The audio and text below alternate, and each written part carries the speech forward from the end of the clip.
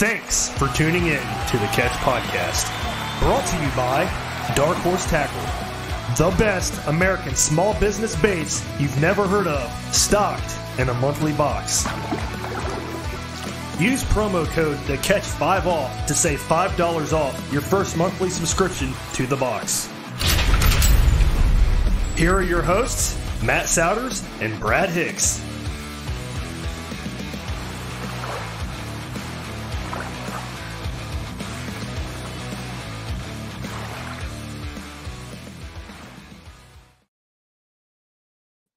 How goes it, Matt? It goes. I'm an idiot. Did you see what I did? Yeah, you forgot to bring us in. Man, why do I keep doing? That's like the second week in a row. I know. Well, we it's been a couple weeks since we recorded. I, that is kind of true because we didn't record an episode last week. Yeah. And then Drew backed out on us this week. So no, I'm just joking. I would say I wouldn't say backed out. The dude just like invented a brand new kayak accessory. Well, and he came back from a Caddo Lake Bassmaster tournament. So Yeah, that's true. he- told me before I was he was like, I- I'll try, but I can't make any promises. I'm like, I understand, dude. It's not a big deal. Oh yeah, dude, I would have just not done it. So makes sense. Yeah. But What's new? uh, not a whole lot. I went out Sunday. I didn't have the same luck you had. I know we're going to talk about your stuff too. you went out Monday, didn't you? I, or no, I went out Tuesday. I'm an idiot. Yeah, I went out Tuesday. Um, got one good fish, 16 three quarter, uh, on a Megabass giant dog X. I caught a like five or six more fish. Um, but yeah, man, I just couldn't get them to bite nothing. Yeah. So, but I got them on that. I got them on the top water, and then I got all the other ones on uh, the Gobe. Let's Gobius. yeah. That thing is like that's the new Ned rig for me. Like if I'm having a struggle bite, I just throw the Gobius and I get bit. It works, man. Yeah, dude, I love it. Good little bait. Dude, yeah, I don't. go ahead. I was gonna say I don't know because I know from the weekend you had, which was insane. I don't know if because I think I was kind of looking. The nights got a little bit colder, Mhm. just a little bit, not by a lot, but just a little bit. And I, I don't know if that was enough to kind of shut them off because the bite started getting a lot better around noon. Mhm. and I only fished about 145. Um, because when you go back downstream from that stretch, there's nothing like, I mean, there's fish in there, so but the water was so low. I don't. They were probably farther up. If I would have spent more time there, I think I would have caught more fish. But yeah. uh, yeah, they just like all every fish I hit, minus the top water fish, that 16 and three quarter, had two fish with it or another fish with it when it hit the top water. And then there's one other fish that was small that just cranked it. All the other fish just felt like a real lazy bite. Mhm. So I don't know if they just weren't chasing or I was it's probably just the wrong time, but but at least I got out. I got my little smallmouth fix and I got a decent one, so I'm happy about it. Yeah. That's pretty cool though. I mean, so like I said, we haven't recorded in like two weeks. So I feel like I got a bunch to talk about, man. Like so much has happened since the Kayak Adventure series. And that seems like forever ago to me. Does it seem like forever ago to you? Yeah. Yeah. I was literally thinking about I was talking to somebody today. I was like, yeah, like, you know, I went to that last the brood stock event and that was a while back. And one of 'em- somebody was like, wasn't that like two weekends ago? I was like, oh yeah, I forgot. so it felt it just feels like it's been a way longer. But it's also weird because we're already at the end of October and it doesn't feel like we went through the month of October this fast. Yeah, I know. It's weird. Like it it's odd. Like no the uh Thanksgiving is literally a month away. I know, dude. That's crazy. It's it's Actually, I, I didn't even think about that until just now. That's nuts. Yeah, Thanksgiving's a month away. Christmas is two months away. Yeah, that's Dude, it's so it's so weird. It's just it's uh this year's been odd. Like it's just ran. the, Uh, the warm weather, dude. It's like makes it feel like it's not fall yet. Well, I guess it, it feels like fall, but I'm about to say it feels like uh during like the mid afternoon to mid evening, it feels like early fall. yeah, And then the morning to like beginning 10 30. October or something. Yes. Yeah. And then the nights are like late fall because Yeah. every morning I wake up and I'm cold. Yeah, it's been chilly in the mornings, man. Like Mm-hmm. low 30s, high 30s, and then which I know I've read a few reports from guys way back in the day talking about it. They always said if you get three straight days of cold nights in the fall time, they're going to start their fall feeding pattern. You Mhm. know, so Yeah. as long as long as we don't get any like super warm days again and like kind of breaks up the warm nights, I think we're going to be in the fall bite for a little while. Yeah, I mean, uh, from from what I saw, I think we're in the fall bite for now. Like it's not going to go away. Um, we don't really have any cool nights. I think the coldest night in the next week, or the warmest night in the next week, next Thursday, like next weekend, we're in the 50s at night. But that's just because we have a storm front coming through, a southern storm front, so it's going to warm up a bit. Uh, which, Which- thank God, dude, the water was so low. I was getting so ticked off Yeah. we were out there, but or when I was out there. Yeah, But- it's crazy. I told you it was going to be low. Like it was just as low as it was when we were up there that last time. Yeah, no, I think it- in all honesty, I think it was a little bit lower. It- Um, Could have been. yeah, I think it was a little bit lower because there were some spots that I was able to motor up super easy last time. And this time, like I could still motor up. It was just kind of a pain in the butt. Yeah. So- I well, I think I do. Yeah, it did rain before we went up there last time. I think so. That makes sense. Yeah. But dude, so I haven't talked about any of my trips. I had to look at my count, my calendar, and look back at my posts. I haven't talked about any of my trips since October 11th, which was two two weeks ago, three weeks ago. Yeah, ago. like 13 days ago or something. Yeah. So that was a Friday, I think. Yep, that was a Friday. I got my work done on the computer, uh, went out, and it was actually warm that day too. It was, you know, probably 80s. If I remember Yeah, right. it was low 80s, high 70s, like on the cusp. Yep. Uh, I, I went out there catch. I caught a ton of small ones on the Megabass Vision 110. So I was like, you know what? Screw this. I put it away. Grabbed the Chapo, and literally, right like 10 minutes after grabbing the Chapo, I I pound like a 19 and a half, 19 three quarter, something like that. I can't remember the size, but he was downstream from the winter hole near fast push water. And that was more towards the middle of the day i think. So uh and then after that i went back upstream because i wanted to fish the the seams and stuff again Yeah. near the fast water that's upstream from the winter holes ended up catching another one on the shower blows i haven't posted that video yet but dude freaking destroyed it it was nuts freaking destroyed it. It was awesome. But he was only in like a foot of water too. Really shallow. Yeah, that's what's so crazy because you sent you sent the video, I think, to me. Um, I'm pretty sure you did. It was either that or the Chapo eat. I think it was the shower blows eat. That or I watched it on YouTube already, like on the channel. Oh yeah. I think I did that. Um, but yeah, it's crazy because I knew right where was that was at, and I was like, man, that's with the water down. That's got to be like like uber shallow, like ankle deep. Yep. Um, so for that that caliber of fish to be sitting there, that's I mean, there because there's push water not too far away from it, so I could see maybe it was moving, but that's still crazy that it was kind of just sitting in that area hunting. Yeah, and I, I've I've had some success there in the past in the wintertime on that side of the river where it's shallow because there is kind of like a little deep drop off there. But Yeah. he I, he was literally sitting on that shallow flat, just waiting. That's awesome. yeah, he smacked it. That was cool.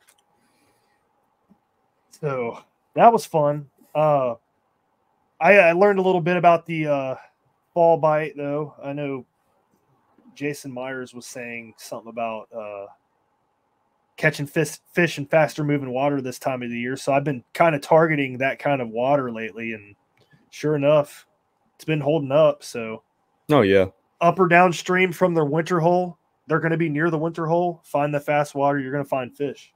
yeah. That's what I did on Tuesday. Like the so I caught four four fish in the same spot, and it was right. So you know that the the bank we were talking about that's got to be a winter hole because the depth Mhm. and blah blah blah. Mhm. And then right past that is that where you go up and those trees are all down and it creates that kind of big eddy behind that one big tree. Yep. So there's a bunch of fast moving water right there. And I caught the first one I caught, which I don't know if you watched the video yet or not, but the first one I caught it like right in that eddy.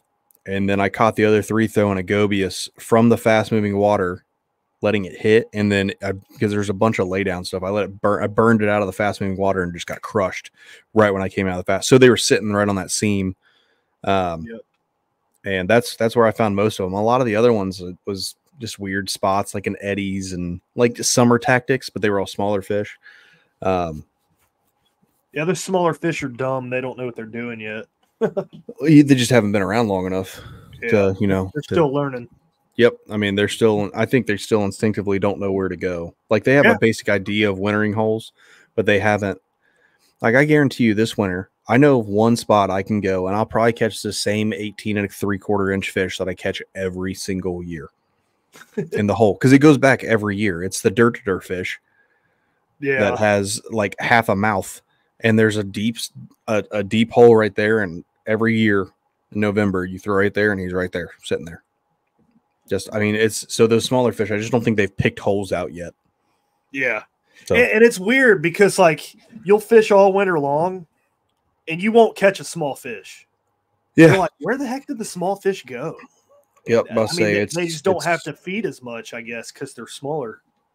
Maybe I don't know. I would almost think they'd have to feed more personally, but I honestly think that. uh Yeah, I'm trying to think the last two winners because I've actively fished the last two with the dry suit. Has it been three? I think it's been three. No, I don't know, but I don't think this. I think the smallest fish I've caught is like a 15 or 15, 16, like in the winter. Yeah. Like I may, I think actually, I think I caught it like a super dink. It hit a Ned rig, and I was like, dude, how are you alive? Like, how are you not frozen? Because it was like seven inches long. But other than that, most of the fish, like I only have one or two fish days, but the worst fish is 15 inches. So Yeah. It's always, you know, 15 or bigger, it seems like. it's odd, but Pretty cool. whatever.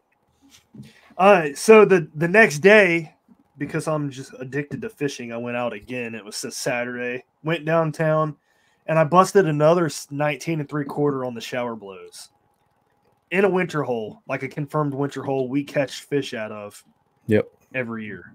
So that was cool. Ended up catching a pike on the Chad Shad. Had a ton of followers that weekend on the Chad Shad. They just weren't committing, you know, they were just following it and whatever. Yeah, I had. Oh, it was what I told you. They were zooming up to it and then they just stop and look at it. Yeah, it's almost like a. I, I like. I don't know territorial or what, but I had three do that. I think the biggest he may have been 15, but I was throwing the uh, River2Sea bigger glide bait. Um, oh, the shad. I think no, I don't remember what it's called, but it's Legend? the bigger one. No, it's not the well, no, because I have a legend. It's not the legend. It's gonna bug me now. But I was throwing that, and I had because the water's so clear right now, which I also, I mean, it's really cool to fish like clear water, but it also I just hate it because I have to be a little more like conservative when I'm throwing and how I'm stay back a throwing. I have to, yeah, you have to make longer casts, which isn't a huge deal. Like I've never really cared about that too much. Um, but oh, they don't even have it on their website because it's not on a drop right now. But it was one. It's the bigger River2Sea. It's not the the River2Sea. It's not the small one. But I threw that, and I had, like I said, three or four followers, but they were real, like they were real lazy followers. Like even when they saw me, they didn't like bolt away. They just turned around and went back. The biggest I think may have been 15, 15 and a half. Uh, but they followed it. I mean, I was making bomb casts like as far as I could zing it Mhm. and I could stand up and watch.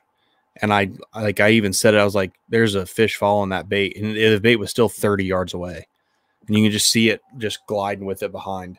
That's that was that. It was it was weird. Like, and then I was because I didn't bring my Ned rig. I forced myself not to because I was like, dude, I'm not bringing this. I don't want to catch fish on it. I'll just skunk today. I don't care. Like I don't. I'm tired that- of fishing the the That kind of goes in with what we're going to be talking about later today too. So It does, but yeah, uh, yeah, dude. I had a couple follows, and they just I just couldn't get any of them to commit. Um, which is weird with it being fall time. It was not a it was not a fall bite to me. It was like a, like a l- mid to late summer bite. They're just lazy. They're just they were lazy except for that top that one topwater fish and then I had like a 9 inch hit the gobia so hard I thought it was like a peacock. Like it just like it hit it and I, I say in the video like when everyone watches which you're not going to see it until like January but whatever when when it when it hit and I was like you hit that like a freight train for your size like I thought it was massive I was like at least I got another 16 and it's like a 9 inch fish Dude, I'd Like- be happy. Like a 16 and three quarter, I'd be happy with that. That's that's a good fish. I would no I'm happy with that one the fish that hit that gobius like a tank was 9 inches long Oh, And he, I thought, like, I was like, dude, he's got to be at least a 16 as I'm fighting it because it was rip and drag a little bit. And you know me, my Stradic drag is not loose. Like, I horse fish in. And it was like, all you hear is, "Grr, grr, grr," it's pulling a little bit of drag out. I was like, oh, this is a decent fish. And then he came right at me and he went by. I was like, this is, i I'm going to kill you. like, I was, it was the first time I was like, dude, this smallmouth is going to be a great burrito. Uh, but but yeah, I want you to t- talk about. Yeah, you caught another on a shower blows. That's really cool. Talk about the old stacky stack. stacky stack. The stack. Oh, day. last weekend, yeah. So Yeah. last weekend, dude, it was weird. Like I ended up putting in at the boat ramp by my house. I fished the middle of the river for a while with a jerk bait and Chad shad. Nothing was happening, so I was like, all right, we'll go upstream. Get to the freaking discharge, you know, going through the no, normal motions. I'm like, all right, there's probably not gonna be fish here, but might as well cast in here. First cast, I catch like a 14. I'm like, all right, that's cool, whatever. You know, cast in there a couple more times, pull out another 14, 15 incher. I was like, cool, that's cool. I've never had this happen in this spot. I just keep, I keep casting there, and eventually I, I catch like two more 17s out of there. I'm like, what is going on? This is weird. So I ended up like you'll see it in the video because I was like, all right, there's no bigger fish here, so I need to move. I need to go find the bigger fish. So I ended up going upstream. Little did I know. Yeah. I ended up going upstream, fishing up there a little bit. And then it's getting towards the end of my trip. I was like, all right, I'm gonna head back. I have to I had to go and do something for work anyway. So mm-hmm. I. I had to get going. I decided to stop back at the discharge. I was like, yeah, let's make a few more casts. On freaking fire, dude. Like I probably had 85 inches within like 10, 20 minutes. It was nuts. 19 and three quarter. Like, oh, dude. He hit the Dude. jerk shads. They were all hitting the jerk shad. I mean, like in the fastest part of the water you could you could cast it in.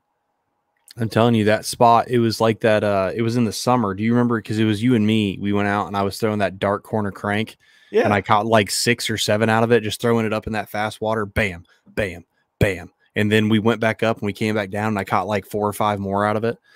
Like Yeah. I- that that spot is weird. There'll be one day you go up there and you will catch zero fish, or maybe like one short, and that's it. yeah, that's And- my experience. That's normally how it is. Like to the point when we're together, or that one day I went by myself, I caught two fish out of it. The video's on our page. I caught two fish out of it, and then caught nothing else. And then that that normally we go up. It's like we're here for five minutes, and we're like, all right, let's go. We got other stuff we want to do, and it's still like a mile and a half upriver, and we just barely like we barely fish it, and we might cast it on the way back, and then we leave. And then there's days you'll throw in there, and I know because if you throw in there and get hammered on the first cast, just take some time and sit there. There's fish uh, for whatever reason they stack there at different times of the year. It's odd. Yeah. It was weird though, man. I'm like so there's like a little eddy pocket right next to the fast moving water where it dumps in. And there I don't know how deep it is there because I can't get there to scan it because it's dangerous. But I'm gonna guess it's probably three or four feet.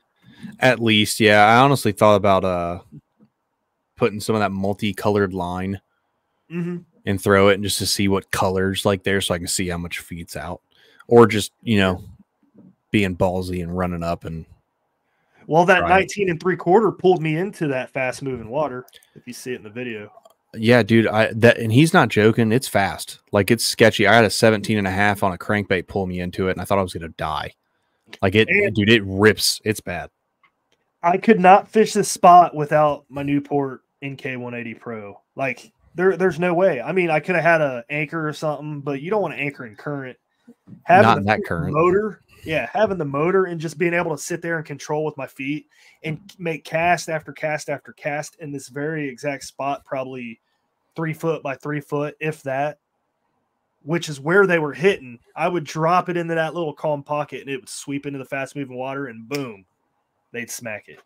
Yeah, I mean it's the same like when me and the NK 300 on Tuesday, just sitting in faster water and fishing a seam straight on. You can just sit there and just Yep. keep, you know, just doing your little baby toe taps, and it just keeps it going straight, and then you're done. Yeah. So that I, I always tell people that I'm like, man, if you don't have a motor, you need to get one for the river. I mean, like controlling with your feet and everything. It's awesome. Yeah. But uh yeah, I ended up catching quite a few 17s, the 19 and three quarter out of that spot, and then I ended up calling it a day shortly after that. You know. I was satisfied, obviously. I would imagine. Yeah. And then uh the following day, I think I, I fished three days in a row last weekend. Yeah, Yeah, you did. You fished Friday, Saturday, and then Sunday because I was butthurt because you kept texting me. You're like, I wish you were out here, man. And I was like, Yeah, me too. My life sucks. Well, Saturday was a tougher day. I ended up going way south, and I met with uh one of my new friends, Jared. Uh, I don't know how to pronounce his last name. I gotta see what his Jared Kalinowski. I guess that's how you pronounce it. Oh, yeah. Anyway, that was his first time on the GMR. He lives out in Washington Courthouse, so he made the hour and a half trip to a spot that I sent him, and uh, we went upstream a couple miles, fished. Yeah, it took us like five hours to get two miles upstream because you know we pick apart areas. Yeah. Uh, tougher day. Caught fish. They were all tiny except for one really good one. I don't remember how big he was, but Jerk Shads does it again, man. Dude i don't i don't know what's wrong with me.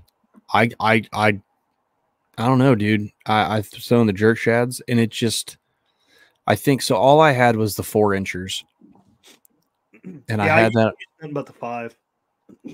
see if i had the five it'd been fine because i had the regular three aught ewg weighted swim bait hook from z-man the zwg and it was just too much hook i think because the bait like had no real action.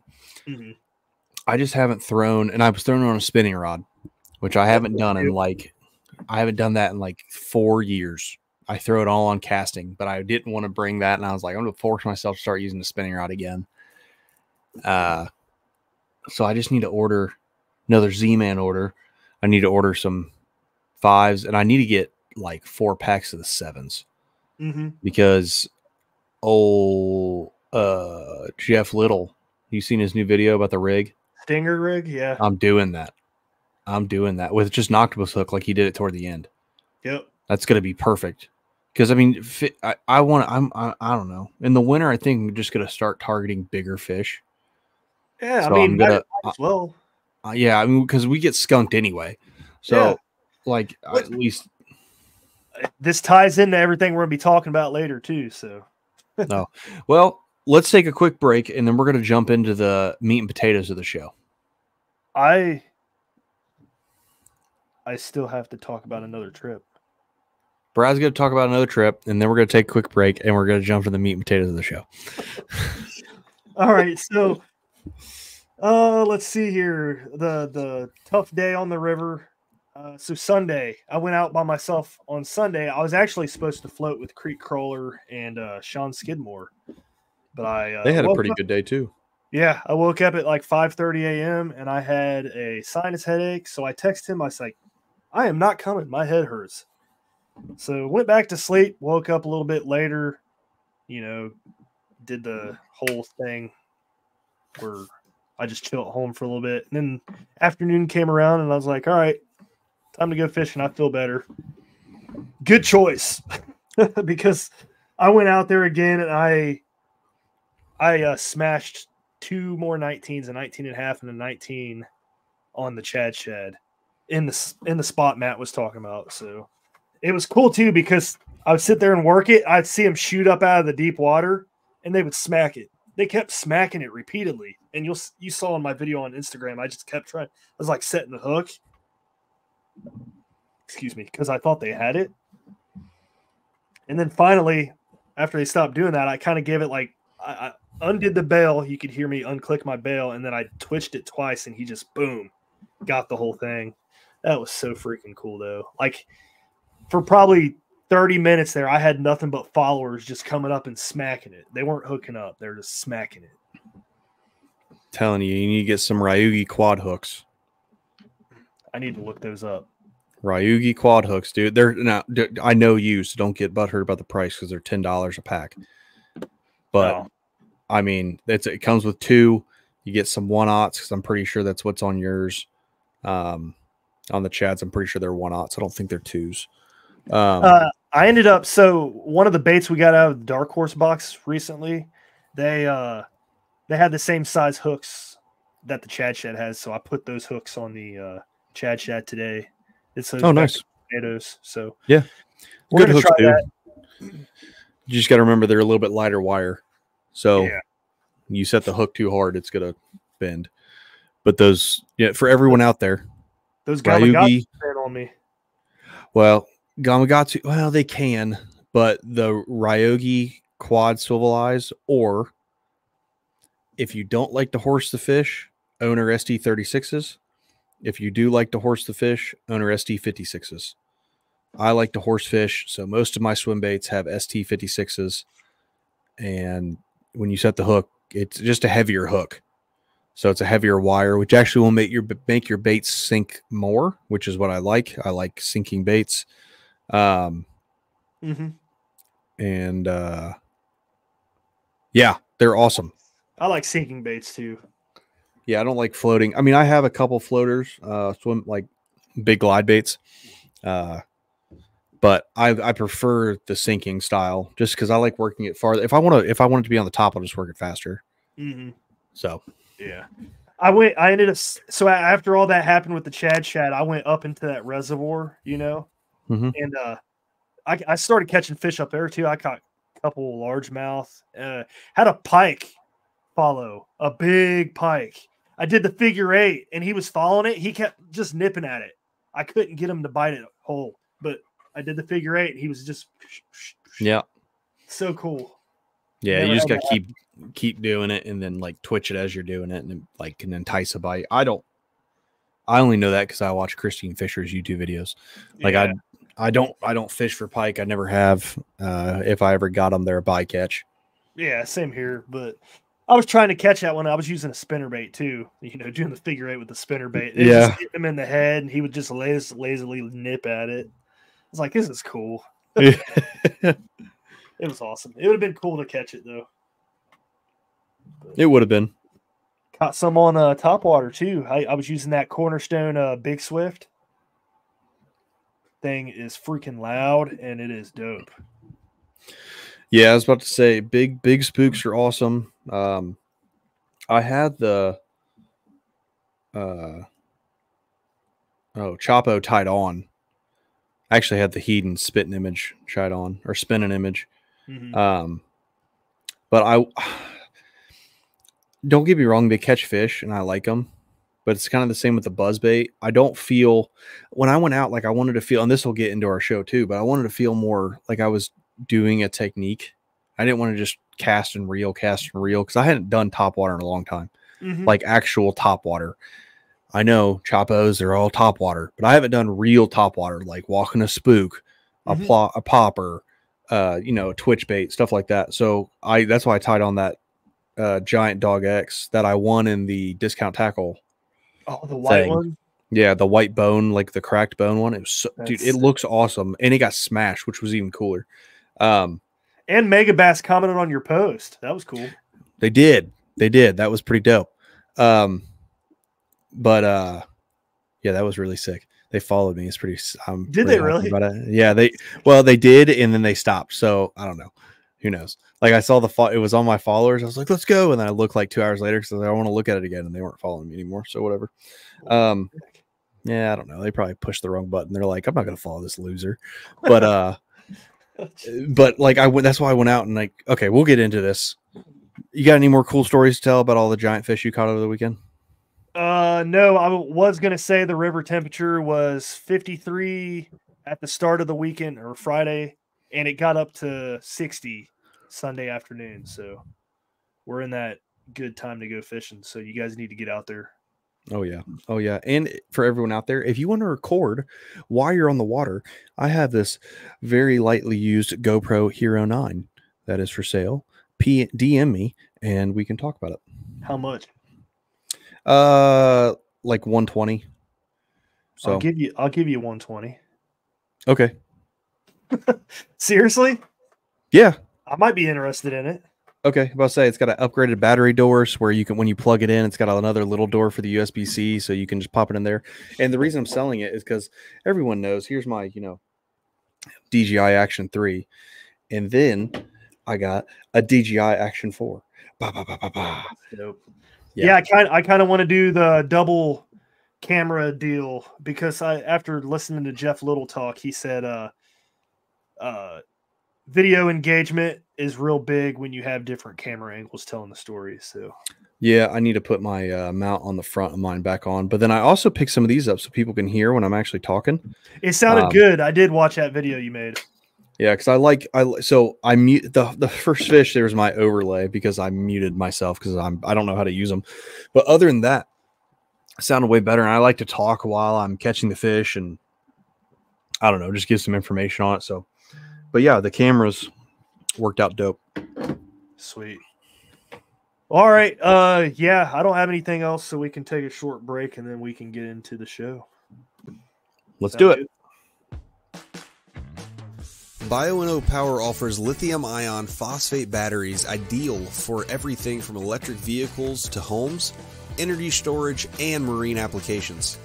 Our batteries are designed to be long lasting and eco friendly. Bioenno batteries last significantly longer than AGM or their lead acid counterparts and are about a quarter of the weight. Visit bioennopower.com for more information and to make sure you get on the water with something you can trust. So this episode, we ha- we're going to be talking about building confidence with new techniques on the river. It's something me and Matt we've had this idea for quite a while, and I know people kind of struggle with it. So we're going to give our our input on this subject, and uh, yeah, I mean we're not experts or anything, but I feel like I can give some valuable info on this subject. Yeah, I mean, like you said, we're not experts, but I feel like we do it enough to where we can uh, give some decent insight on like what what we do, and you know, to to do new techniques and well, exactly like you said, building the confidence. So, where do you want to start? Well, I was fir- first thing like I know people you get they're like "Oh, I want to go out there to catch a fish. You got to get out of that mindset first thing. I, I mean, obviously you do want to catch fish, but if you want if you really want to build confidence with the technique, you need to lock that thing in your hand and throw it until you catch a fish. There's a mindset thing there where you see other people catching fish with that same technique tell yourself in your head that it works. Like You it's have gonna to work. be It's gonna work. Just tell yourself it's gonna work. you have to be 1 million percent okay with skunking when you're doing a new technique. So, Yeah. like I said, put the uh, ego aside. Yeah, but say you don't need to catch fit like literally. So Tuesday when I went out, I I I left my Ned rig at home, which Brad knows. Like if I'm having a rough day, I'll throw the Ned rig because I know I'll get bit. Like I, I've said it before in past shows. If I if I have a Ned rig in my hand, I have not been skunked in probably three years. If I'm throwing a Ned rig Mhm. Just because I can catch something. And Brad will tell you also if I've had if I haven't caught a fish all day and I'm super pissed off and I catch a six incher at the end of the day, I'm happy. I don't care. Mm-hmm. Caught a fish. I'm cool. That's like my release. The fish is this. If I catch it earlier in the day, the rest of my day is just better. If I catch it later in the day, everything after that's better. So when I went out Tuesday, I was like, I want to revisit walk like a walking dog bait spook popper. I'm not bringing my Ned rig. I had this is this is the four rods. Actually, I think I took five with me, but I didn't. I ended up throwing all of them. So here's here's the five. Ready? I had a Geecrack worm, segmented worm, the eight inch, so the big one. I had a mag draft. I had, uh, I went through like five different swim baits, but I had my swim bait rod. I had a crankbait, which I threw like for five minutes and I stopped throwing it. And I had a, uh, the giant dog X Mm. top water spook. I tied the Rico popper on for like five minutes and I was having to fish it around faster water. So I was like, whatever, I can work a spook better. So I took it back Yeah. off. And those are the five I had. I didn't have my confidence baits that I'm always, I did not have a jig with me. I did not have a Ned rig with me. I had the Gobius. That was the other one. I had a Gobius, but I didn't have that tied on. I had a jerk shads tied on, but then I was realized I'm a big old stupid idiot and I didn't have my five and seven inch jerk shads, only at the four inch. I realized after throwing it for like 10 minutes, it wasn't working. So I cut it off and tied a Gobius on just so I had it on there. I went out and for the first, I got on the water at 8.30. No, eight. It was like eight, eight or 8.30. You were out there early. Yeah. Because you texted me when I woke up that day. I have to poop, and I was like, "Oh, Yeah. Yeah, for everyone out there, so you know, when uh if me and Brad when we're going fishing, right when we get there and we're loading up, I said, "Guess what, Brad?" And he says, "What?" And I was like, "I've got to poop," because I never do it before I like go to the water, and it always hits me right, no matter what time. It could be at one p.m. yeah." That's when I'll have to go, and then I just have to hold it the rest of the day, or take a sneaky woods poop like I did Tuesday. But anyway, uh, um, but yeah, so I got on the water like eight fifteen or eight thirty. I threw the giant dog X till I caught that first fish, which was at eleven fifteen, yeah. and I, that's literally all I was throwing. I, I think I threw I threw because I had the Chad Shad tied on. I threw that in a couple eddies just here and there Mhm. but the majority, I'd say 90% of my casts were the giant dog X. It's a top water spook. And it was just like Brad's saying, I'd throw it, wouldn't get hit, and be like, all right, this cast, throw it, wouldn't get hit. And I said this cast 4,000 times until that one fish crushed it, which was cool. And it immediately built confidence back in into it to where I don't want to tie on a plopper anymore. I just want to go back out with this top water spook now because I have so much confidence in the lure because I kept kept throwing it, kept throwing it, kept throwing it. I got my cadences back. I got five or like two or three different cadences in it, depending on how fast I want to work it, and I've got them all dialed in again.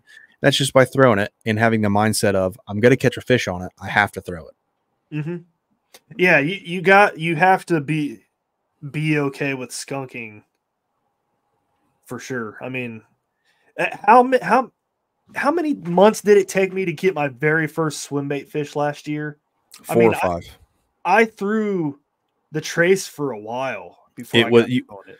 you threw the trace for three months before you got hit on it and that's sp- like he went through spring throwing it didn't get a fish on it which is crazy spring and then the first half of summer got a fish on it and then you moved to the chad hmm and i, th- I want to say you got a fish on that like a month later S-Waver at the end of last. it was an it was an S-Waver it wasn't Yeah. a chad it was the S-Waver and that was like you moved from the the trace to the S-Waver and i want to say you got your first S-Waver fish like a month later hmm something. Like and that. then you and then you kept throwing it and didn't get bit on it again for a while and then you got bit on it again and then you moved to the Chad Shad and now and it's just building that confidence over believe me i throw a bunch of big swim baits i've got a ton brad i'll tell you it took me my first big my first seven plus inch glide bait fish took me a year and a half to, to get yeah, in the south like i was throwing it everywhere it took me a year and a half to get bit on it That's ridiculous, man. I, I got my first Chad Shad earlier earlier this year at the uh, Columbus Expo. Yep. And then I think it was March when I finally got to go out and fish it. March or April or something. And I think it was the end of March. it was the end of march Yeah, it my very first Chad Shad fish. That, that was so cool because I got to see him come out from behind a rock and smash it. But that makes it worth it, dude. Like fishing a lure for so long and then finally getting hit on it. And it's like from that point and to where I'm at now, it's like glide baits is like a staple of what I've done all year long now. It Mhm. it's so much fun. It's one of the best bite you'll ever get. Big swim baits are the best bites ever. I don't know why either. I don't know if it's like the satisfaction of tricking a fish into biting something big, because like the fight isn't like amazing. You know what I mean? Yeah, it's. I mean, it just depends. If you get a truly big fish, like if you get a massive fish that can throat it, Mm-hmm. giggity, then it's it's a different type of fight because it's different. That fish is like it's just different. Mhm. When you get like the side swipers, which a lot of like our smallmouth, they're pretty much all side swipers. They're too Yeah. their mouths are too small to actually just engulf it all the way. Not all the time. I mean, I had a trace disappear in uh smallmouth mouth. So they can do it, which was cool, but that fight was way better. Like not it's weird. It's not that it was way better, it just felt more aggressive. Mhm. Um when they sideswipe it and stuff, it it just feels it's a little different because you if you hook them if you get they get one hook in their mouth and then they're fighting and then they get hooked in the side, they typically stop. And like yeah, once that- they get that's hooked what I'm side, referring to. yeah, you just kind of you almost ski them in or reel them in sideways, and it's weird. But the fact that you're getting the fish to attack the bait is something special, especially Yeah. with all the time. Because swim baits, Brad went out the other day and caught two 19 and three quarters on a Chad Shad. That is awesome. That is not the norm for swim baits. Swim baits are you go out and you throw it all day long, you get one fish sometime in the day, and that's it. Yeah. Like it's very rare. Now is the time to go out and get your multiple fish days on a swim bait. All Yep. summer, even spring, especially in the winter, you can do it. I've caught them in the winter, but it's it's a grind. It just is what mm-hmm. it is.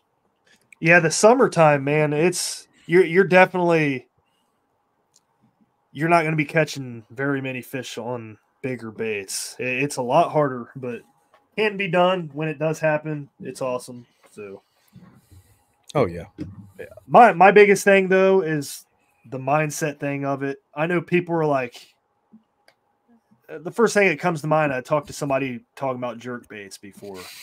I cannot get bit on a jerk bait. I don't know why. I just don't have the confidence in it. I'm like, you need to change your mindset, dude. If you see other people catching fish on it, just tell yourself it works. Eventually, you're, I'm going to catch a fish on it. Just tell yourself that over and Yeah. over and over. yeah. If if it, it's believe me, there's nothing special. If Brad goes out and he catches fish on something, and I say, well, I just can't catch fish on that. That that's stupid. Like I'm not trying to be like I'm not trying to be anybody out there, and I'm not trying. I'm not calling you stupid. That thought is dumb though. If Mhm. people next to you on your left and right are catching fish on a bait and you can't do it, it's one of two things, and they both are the same thing. Brad's mentioned the mindset. Tell it it'll work. Tell it it'll work. Okay, you can do that, or you can tell yourself it's not going to work the whole time, and you just throw the crap out of it. just throw it. You can sit every cast. Is this isn't going to catch a fish? It's not going to catch a fish. But if you throw it and work it, and you can say pop, pop, pause. It's not going to catch a fish. Pop, pop, pause. This is stupid. Pop, pop, pause, and he gets all the way back in, and then you say this is so dumb, and you cast it right the back out there. Throw it back out and just keep doing it. You're going to catch a fish on it. And the first fish you catch on it is going to be, oh my God, I can't believe it worked. And then you're going to throw it all the time. Whenever, whenever I learn a new technique, when I started learning a free rig, I, Brad will tell you I'm kind of negative. I'm just a negative person with a lot of times for the simple fact that if something doesn't pan out, I can say I knew it wouldn't work and I don't feel as bad. Uh, when I was doing the free rig, I was throwing it. I was like, this is the dumbest thing ever. Why wouldn't I just throw a Texas rig? Yeah. and I'd reel it back in and be like, "This is so stupid," and I'd throw it back out and I'd flip it and I'd cast it, and I finally got hammered on it one day, and I was like, "This is the best!" And I had a free rig tied on for like this was like three years ago when it was still a JDM thing and no one in the U.S. knew about it, Mhm. and I had that's the I didn't throw Texas rigs. Like Brad, I think uh, two or three years ago, you asked me what is that, and I was like, "It's a free rig." Mhm. I was like, "It's like a Texas rig."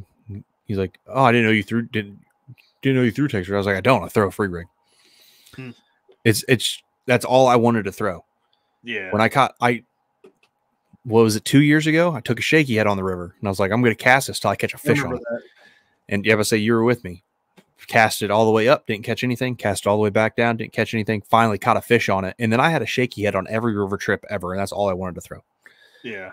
Like that's just that's just cast. Just cast it until you catch something on it, and I promise you'll have the confidence will explode. And if somebody's catching fish on that same bait that you can't catch something on, it, it- there there's a reason for that. Whether it be gear, like somebody might be using different line than you. Well, they probably are. Somebody might be using 10 pound as opposed to you using 15 pound fluoro or whatever. Makes it sink a little bit faster. You're not in the same strike zone as that person. The cadence of the lure, you got to take into account all that stuff as to why that person's catching the fish and Yep. you're not. So you do got to, you know, play play around a little bit and experiment. But um, I was gonna say something that you were talking about just a second ago. and I just Casting it, mindset, I don't know. how much my lips shine with all this uh, lip balm on them. That's cute. It is. Dumb face. Um, yeah, I don't know what you're to say, but Oh, I, I remember now. So the I, I'm actually struggling with the technique right now because I told myself earlier this year when I bought it, I was like, I'm gonna catch a fish on this. I just haven't really put in the time with it. Can you guess what lure that is? You haven't put the time in with it. You know what it is. I've had a follower on it, so I know. Uh, we The just mag? bought- yep, mag draft.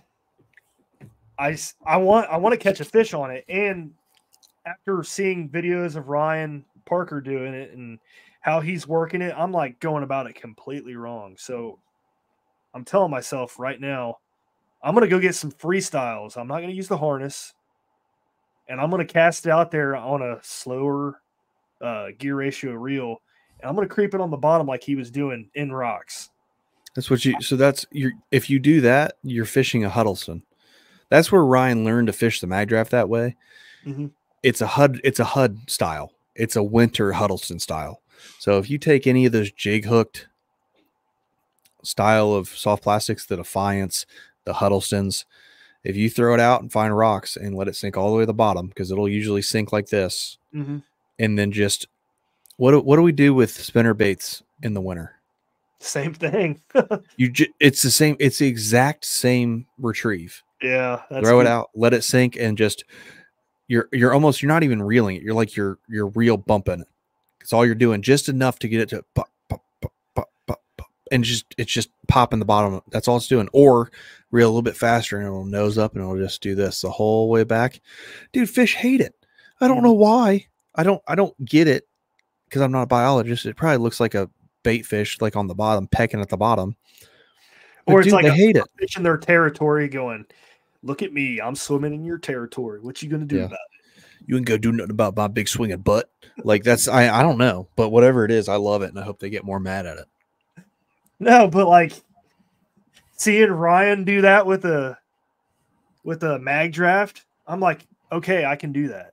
And that was actually a good tip what you said, comparing it to another lure that reacts the same way when fishing. I never really Yep. thought about that. So that's gonna help me fish the mag draft. I slow roll it. I, I don't know why I didn't think about that. Uh, another thing you can do. This is a new technique, but it's not a new technique. So you used to throw this a ton. I'll see if you can guess it. You used to throw it a lot. It's one of the best ways to throw a swim bait, especially a paddle tail, because it adds a little flash. What did you used to throw? Oh yeah. The uh Wicked Wicked Ways. Underspin. yep, Wicked Willow. The Wicked Willow. So Six Sense actually just came out. I don't know if they just came out, but Academy opened up here in Springfield. I went to it and they had them. I've never seen them before. Also, don't yeah, don't make the trip. Oh, okay. I mean, you can make the trip. It's only this fishing section is like three aisles. That's all it is. Ah, So it's not that big. I mean, they have some sunline stuff in there, so if we need a quick restock, we can get it. And they've got some stuff, but I don't know. I'd, I I would rather drive to Arcabellas if that tells you anything. So, uh, but Six Sense came out with a new, like I said, I don't know if it's new or not, but a swim, a big swim bait hook, and it has a big old willow underspin. Are you pulling it up? I'm pulling it up right now. Oh, okay. I want to see it because I don't think I've seen it yet. and they're inexpensive. Huh. I still got some Wicked Willows. I yeah, you're right. I haven't really fished it much. I don't know why. I just I yeah, I well, I haven't either. I have a ton of them, and I haven't really fished them at all. But yeah, there there was one point in the year where I was like, if you're not, oh yeah, it's the exact same thing. It re- it really is, but it's just bigger. Yeah. So you know, you get a freestyle, you put the three eighth six ounce, uh, three eight or three eighth ounce six aught. It just gives it a little bit more, Oh, know, on the mag difference. drop. yeah. Oh yeah. Going on the good mag. idea. And then you know, bump it off the bottom, and then bring it up a little bit, so that's just tickling the bottom. Hmm, that's a good. I'm gonna do that. I've got some. I've got some freestyle mag drafts and the black and white or the black and gray, and then the uh, pearl. So Yeah, I'm starting to think like the freestyle mag draft's the way to go. Like the one with the harness, I heard uh Josh Shrinko talking about it on a podcast recently. Like it's they're they're worse for the fish because it can graze the gills and stuff like that. So yes, um it's harder to fish those slower, I feel like. well, it's because you're gonna get hung up. Yeah, I was about to say they they that underslung treble can get hung. Um, now I'm not going to talk about it on here. Swim bait guys, it, they would be like, "Oh yeah, we all do that," but I'm not going to give up a buddy's secrets who's texting us both right now. But uh, I'll show you a rig. It's an old school swim bait rig for like a freestyle. I'll show you a rig you can tie on so you get a little bit better hookup ratio too. That's cool. Yeah. So Uh, I need to go to actually Cabela's has mag drafts. I saw them there last time I was there. They have a ton of freestyles. That's like their only saving grace is they have they have a bunch of the the freestyle coal shads. Uh, I heard they actually swim a little bit better than Maggie's do. Mm. Uh, I've heard it. I haven't I have thrown the cold shad here too with the harness, but I don't throw it. I threw the one with the harness and it kind of reminded me of the mag. It swam better. Like I could swim a little bit faster, Yeah, but but uh, I knew I want to get some of those freestyles too. But also, there's a lot of things. But anyway, back to what we're actually talking about. Um, building confidence on the with new techniques in the river. It's it's ultimately it's time on the water. Like to build new to build confidence, you have to go out and throw that what you're throwing. Mhm. And what I would say, what I like to do, I've got three spots, not river, build confidence in baby steps. I've got three ponds that I can go to, and I could put a little bit of smell good on my toe and catch a fish out of it because they eat everything. So take that lure that you have no confidence in and go fish it at some of your honey holes. Catch fish, catch fish, catch fish. Get the cadence down. Find out how how do these fish like it. I'm not gonna say it's always going to transfer, but then when you go to the river, which can be daunting, especially if you don't fish a lot, you don't know where everything is. You're just throwing at possible spots. You already have the confidence on the lure that's going to catch fish. Or if it's a big swim bait, you've got follows or something. You've you've seen fish interested in the bait. Now you go to the river and throw in those other high percentage areas and continue to build off those baby steps that you did. yeah, it's a good idea. I, I I've thought about that too. Like, there's one spot where I could probably go and catch fish on a mag draft pretty easy, but largemouth. But I Yeah. don't want to go there and do that. I know you don't like I don't I know that. And for everyone out there, I smallmouth or king, I'll catch largemouth if I have no other choice, but smallmouth or key. I'm not Brad. I won't like to stay home and not catch largemouth. I'll go catch largemouth. I don't care. But smallmouth are better. It's best fighting fish on earth. I would be in a polyamorous relationship with smallmouth if I could. My wife was down for that, but she's not, and I'm not either because that's just not how life works. But start if your pond has largemouth in it, or if you're down south and that's all you got, or you got spotted bass or something, go to a honey hole and just baby step that confidence. Don't get overconfident. You go to your honey hole where they'll eat everything like a piece of lettuce on a string and be like, oh, this I, I know exactly what I'm doing after you catch 30 fish because they eat everything. That's your that's your new bottom is the confidence you built from your honey hole. And then you go up Mhm. and you start going to lakes or your rivers and you start throwing in the high percentage areas, you're not going to get the same hookup ratios you did there for the simple fact there's not, it's a different environment. But you have that confidence of knowing I'm not going to this blind and just throwing a lure and having no idea what's going to happen. Like you already have some of that confidence. That's your new baseline. Then you move up. And then you move up. Same thing with swim baits. I tell people if you want to get into big swim baits, go buy some four inch swim baits, soft body swim baits. Throw those. Those will get eaten by everything Mhm. catch fish on that, happy about it, go to a five. Those will get eaten by a lot of stuff. You have confidence, so they're eating a five, they'll probably eat a six. Then you throw a hard body six inch trace, multi jointed, or a big soft like a mag draft. Throw that, those start getting eaten. Now you're in the big boys, seven inch glides, nine inch defiance. You're throwing your big, big baits. You have all those stepping stone confidence to get you the big boys. You know what I mean? It's it's that concept. Yeah. I like that. I want to uh, catch one on the Defiance someday too. That'd be cool. Yeah, dude, me too. I've I've thrown it twice. Uh, it was up north, and I counted that sucker down to 35 feet. And I still, to this day, believe I got slammed. Yeah, there's, didn't. didn't there's nothing on the bottom there. It's a soft bottom, so I know. I mean, I and it was like I hit a rock. So I think something slammed it, and I set the hook and I pulled it away from it. I still believe that's exactly what happened because it was like at 30 feet, my rod tip on my extra heavy rod just pop. Like, dude, I, I saw it and I was I wasn't really paying attention because it was I was having a rougher day, and I threw it and I saw all I saw was my rod just boom. And right when I saw it, I was like, like you at uh, Wisconsin when that topwater fish hit, and you're like, I don't know what to do. sick. Same thing. Like it, it just popped it, and I was like, Yeah. oh, and I reeled up the slack I had, and it it just wasn't there anymore. She was gone. But yeah, Yeah, the uh I know we're we're all guilty of this. Like you start throwing a new technique and you know you throw it for like 10 minutes and then you put it away. It's like mhm. you can't you can't do that. Just keep throwing it. If you want to really want to catch a fish on that thing, you just got to keep throwing it. And it helps like I've noticed in my mind at least, it helps to kind of visualize what the bait is doing under the water.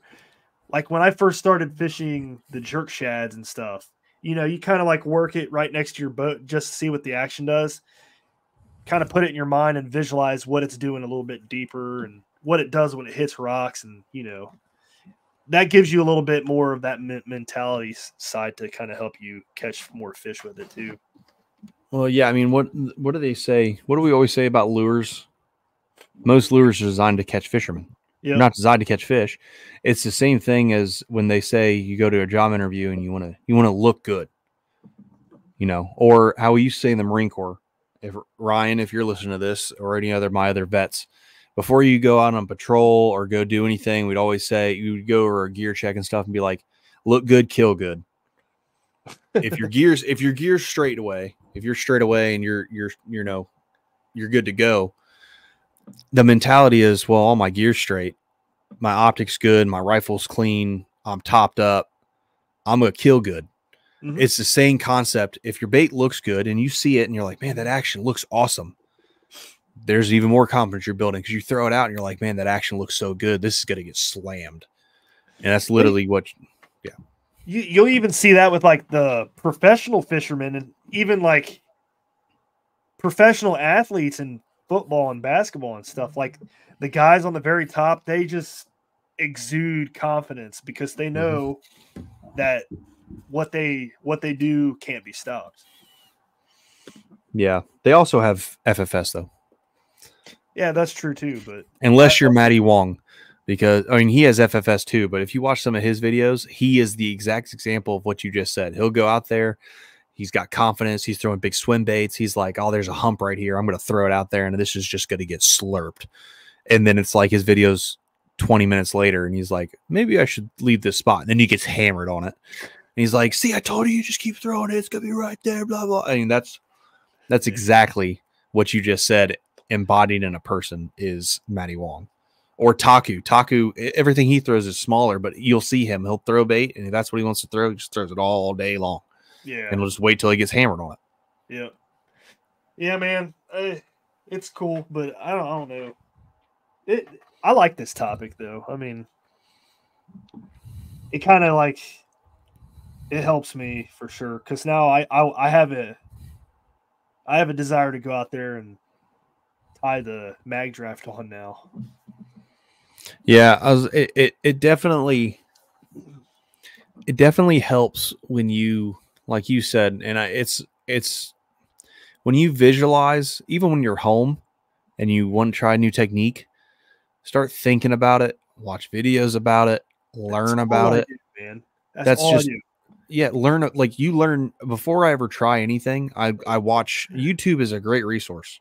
Well, I don't watch the YouTube. I visualize baits in my head. It's so weird. Like I'll be sitting there driving for work, and I picture like a jackhammer in the water. I'm dead serious. I'm just like, that looks so cool. I'm sitting there thinking about it. Like that's awesome. Yeah, yeah. But if you if you're gonna try a technique, if you've never done it, you can't. You you can visualize it, but if you watch Yeah. a video and you see it in the water, tactical bassin, they have so many underwater videos. I'm pretty sure they have a scuba license because they have every. If you want to learn how swim baits look underwater, they have a whole 28 minute video that shows like every major swim bait on the market underwater, and it shows the glide, it shows the fast swim, it shows the twitches. You can walk them. It shows all of it and it shows fish reacting to it too. You can take that, cool. I watched the video, and then you're Brad driving to work, and then you start thinking about it nonstop in your head, and then you start thinking about what gear I'm going to throw it on, and then you tie it up at your house, and then you go fishing three days later, and you have so much anticipation to throw it, and you just keep throwing it, throwing it, throwing it, and then you get bit. It's the best feeling you've ever had in your whole life. It Yep. just is. Yep. It's just like the whole the whole build up to that moment. It's just like, oh, it's awesome. I'm addicted, dude. yeah yeah i was going to say something but i'm not going to so uh it's a lot of build up to the crowning accomplishment crowning moment in your life um so anyway yeah what else do you have on this brad I, I really don't have much, man. Just just want to reiterate it reiterate all right put the ego aside. If you don't catch a fish, who cares, man? I know I'm not going to make fun of you. i Who will cares? but it's okay no i'm just kidding i won't either and that's uh, it's- funny you say that. Two weeks ago when we were coming back from broodstock is you were driving and like always um, i don't ever really have time to think when me and brad go anywhere because we just talk the whole time. We're literally like girls. It's the only person in my whole life including my wife that i do this with. I don't talk to my wife all the time when we're driving. I she listens to music and i listen to a book.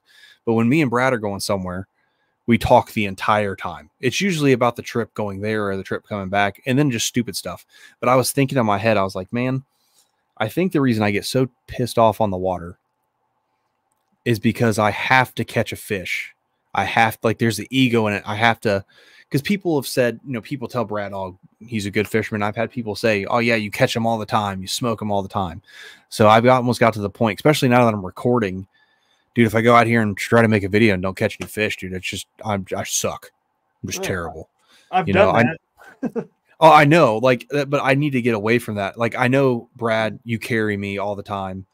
Uh, I just wanted to make sure I got that in there somewhere in the podcast. Uh, I, I hope you listen. I hope. But anyway, um, I need to get the ego out of it. Like, I need to go out, and if I don't catch a fish, I don't care. I need to have my winter mindset all year long. Yeah, that's yeah, that's exactly what I was thinking. I just couldn't think of the words. Yeah, the winter. If you have a winter mindset, you go out in December and you go out and you're like, if I don't catch a fish, I don't catch a fish. I just want to be out. Mhm. It- have that mindset. Everything ends up putting itself together. Yeah, and it's So Jeff Little mentioned that when we were talking about winter fishing earlier this year on a podcast. The mental mindset makes you a better angler the rest of the year. yep. That's all I got though. So for whatever it's worth, probably not much, but hopefully I it helps somebody, man. Not hopefully someone out there you get some words of wisdom from both of us slow river And- rats. And if you do end up catching a fish on something you've never caught, uh, post the picture and tag us. The world needs the world needs more fishing pictures, guys. I know there's a ton of fishing accounts out there, and everybody's just posting the same old uh, pro staff like post. Go, go to, go get your kayak here or whatever. I don't know, whatever. Go to Big Chungus Baits for the best baits on the market. Yeah. Stop doing that and post some fish pictures, man. Like that's what I want to see. I want to see fish pictures. I Just so everyone pro staff, knows, So you can do the pro staff thing at the same time as posting a fish pic. Yeah. I know there's guy like there's guys I follow, they never really post their fish pictures. I'm like, why don't you post them, dude? You catch good ones. I want to see even that. if you don't even if you don't catch good ones post the f- pictures even if they're 12 inch fish just post them because i've caught some 12 inch fish they're not as big but obviously they're not as big as some of my bigger fish but some of them look way cooler Mhm. Like they just look cool like the colors on them uh, there was a couple kentucky spot or there was a couple small smallmouth spots. I don't we still don't know what they were but smallmouth that have a spot in their mouth they looked way different than smallmouth here do. And i didn't take pictures of them because i was like it's a small fish. And then i kicked myself the whole rest of the day. It's like i should have taken pictures of all those fish and just post them who cares? Mhm. post post the pics tag us. We will share them out and we'll love to see them it's awesome. Yep. But anyway, with that said, my phone is blowing up thanks to Ryan Parker. and Matt Souders. I've been texting him the whole time about big swim bait hooks. It's weird we're talking about it because we just talked about it. Yeah. But anyway, that's all we got for our show this week. Uh, thanks for tuning in, and uh, we'll see you guys next week. Bye.